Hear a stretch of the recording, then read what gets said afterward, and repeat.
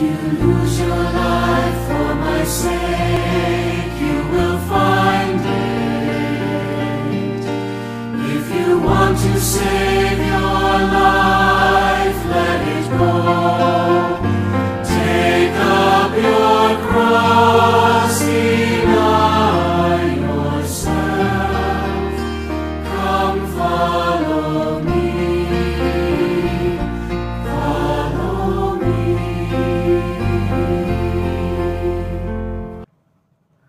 dear friends, today let us reflect on the Gospel of Matthew, chapter 10, verses 34 and following, wherein Jesus offers us four things.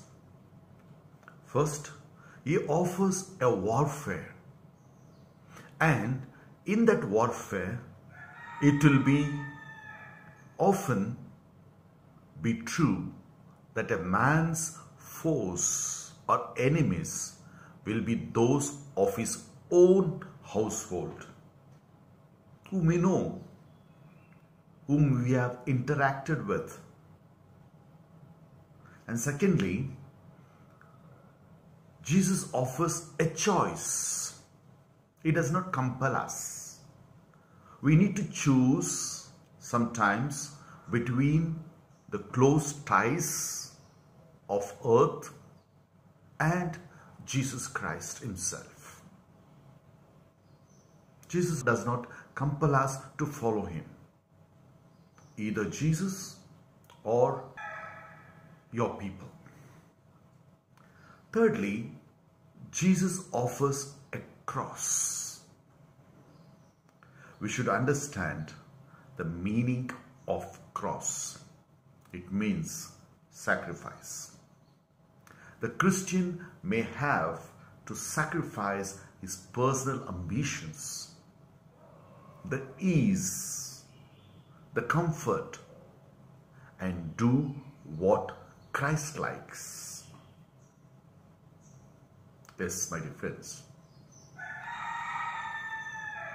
In Christianity, there is always some cross, for it is the religion of the cross. And fourthly, Jesus offers us an adventure. He says, there are who will find his life but lose it. And those who lose their life for Jesus' sake will find it.